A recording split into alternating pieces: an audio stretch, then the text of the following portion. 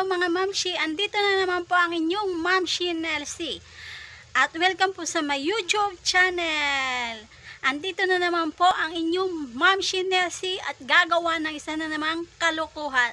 What's this? Uh, funny conversation of houseworker and madam at the Middle East. Mostly Filipino knows how to speak English than the other Asian one of the common houseworker on Middle East are Filipina. This is the conversation the Filipino worker between Madam Arab. Pilipini, taali. Yes, madam. Cook me and eat me breakfast. Understand? Yes, madam. I understand. Ay, paano kaya yun? Paano ko? Paano mo maluluto kaya si mama? Sabi niya,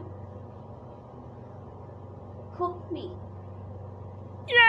Hindi naman kasya sa kawali.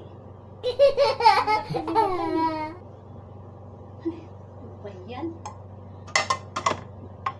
Gusto pa yata akong gawing killer niya. Pilipin. Yes, madam. I go to the mall for shopping. Okay? Eat yourself before work. Understand? Yes, madam. I understand. Grabe siya. Paano ko kaya kakainin yung sarili ko? It, it myself. Pilipini,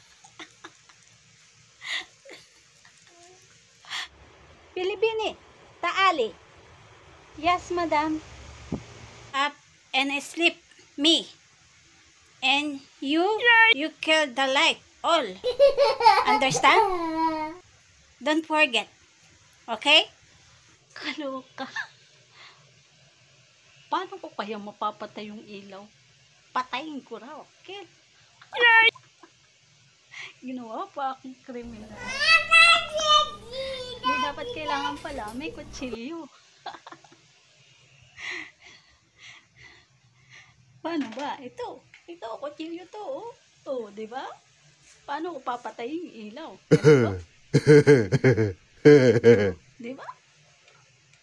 Oh.